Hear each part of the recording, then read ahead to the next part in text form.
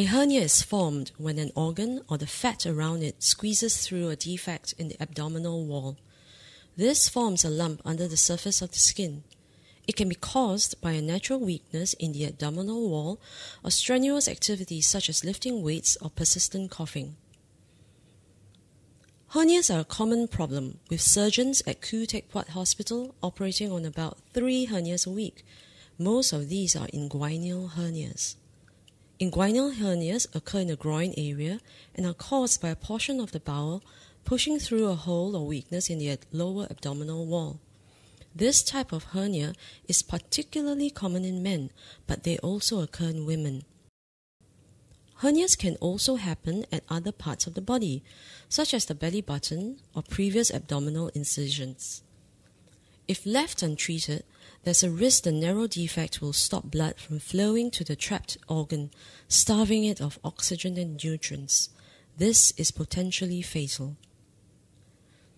To repair the hernia, the organ of fat is pushed back through the defect to its original position. A mesh is usually fixed over the hole to prevent the hernia from recurring. The operation can be done either by keyhole surgery or open incisional surgery. During keyhole surgery, doctors make three small incisions on the abdomen. Operating instruments are inserted through two of the holes and a thin, flexible camera through the third, so the doctor can see inside.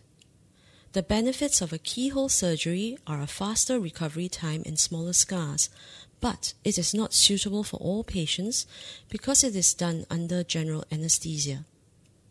With open incisional surgery, an approximately 5 to 7 centimeter long incision is made on the abdomen for the doctor to access the hernia. This surgery can be done under general anesthesia or local anesthesia, where the patient is awake during the operation but unable to feel any pain. Your surgeon and anesthetist will recommend which surgery is best for you based on your hernia and overall health.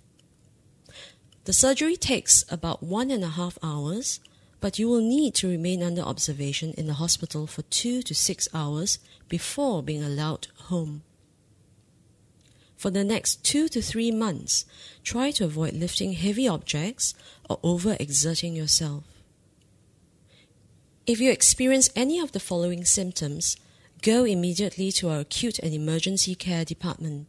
Persistent fever above 38.5 degrees Celsius persistent pain, persistent nausea and vomiting, swelling around the surgery site, blood or yellowish fluid around the surgery site, redness surrounding the incision site that gets worse or bigger.